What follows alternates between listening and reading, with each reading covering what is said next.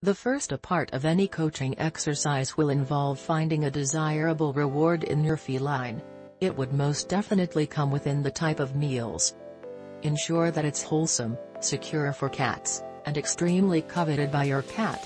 Canned sardines in water with no salt added or treats could be a good place to start out.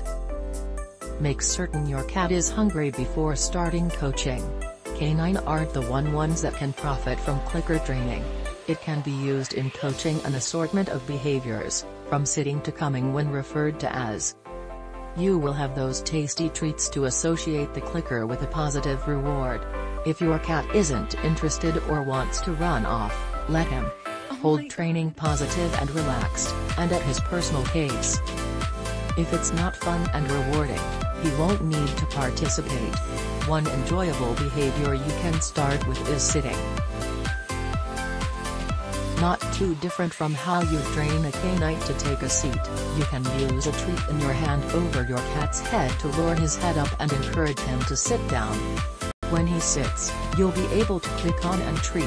As he improves, you can begin including the verbal sit cue to start the activity.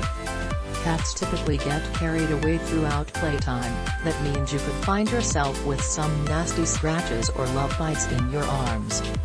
When he starts tearing into your hands and arms, gently extract yourself and cease the playtime by leaving the world. Not solely will this defend your limbs, but it can train him that rough play equals no play.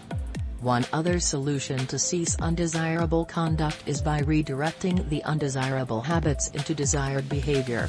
In case your cat desires to attack your foot, throw a favorite toy off for him to chase. If he needs to scratch your mattress, couch, and favorite lounge chair, have many scratch pads close by to place him at when he's in a scratching mood. Cats actually have their very own special approach about them, however they can be trained. Bear in mind to be patient, gentle, and keep issues fun. Thank you for watching the video. Please click the link on the description for more infos.